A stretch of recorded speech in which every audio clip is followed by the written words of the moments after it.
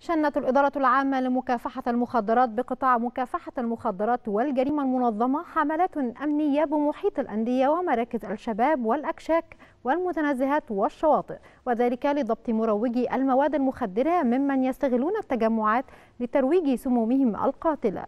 وتمكنت الأجهزة الأمنية من إحباط محاولات ترويج المواد المخدرة خلال أيام العيد وهو ما أدى إلى حجب المواد المخدرة ومنعها من الوصول إلى تلك التجمعات حماية للشباب حيث تم ضبط العديد من القضايا.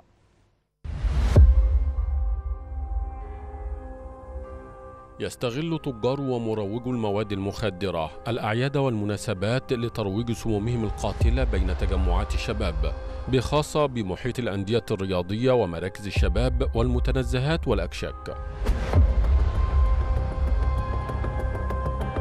من هنا استهدفت الإدارة العامة لمكافحة المخدرات بقطاع مكافحة المخدرات والجريمة المنظمة هؤلاء قبل أن يتمكنوا من تنفيذ مخططات الترويج.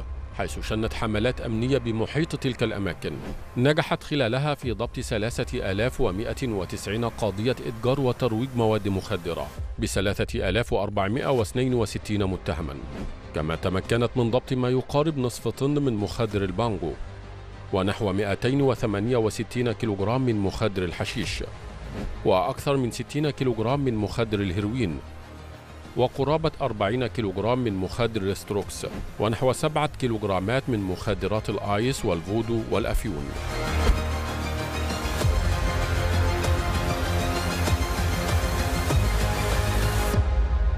كما نجحت الإدارة خلال تلك الحملات في ضبط أكثر من 30 ألف قرص مخدر لعقار الترامادول. وأكثر من 4000 قرص لعقار الكبتاجون. إضافة إلى أكثر من 200 ألف قرص وأنبول مؤثر على الحالة النفسية والعصبية.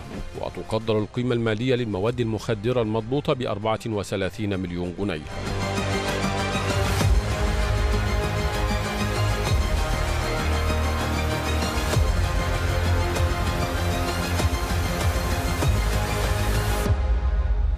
وبالتزامن مع تلك الحملات وما حققته من نتائج إيجابية ونجاحات تتواصل ضربات الإدارة الموجهة ضد العناصر الإجرامية الضالعة في جلب وتهريب والإتجار بالمواد المخدرة قبل أن يتمكنوا من طرح سمومهم القاتلة خلال فترة العيد. وتمكنت من ضبط قرابة 181 ألف قرص مخدر متنوع بحوزة اثنين من العناصر الإجرامية بالبحيرة.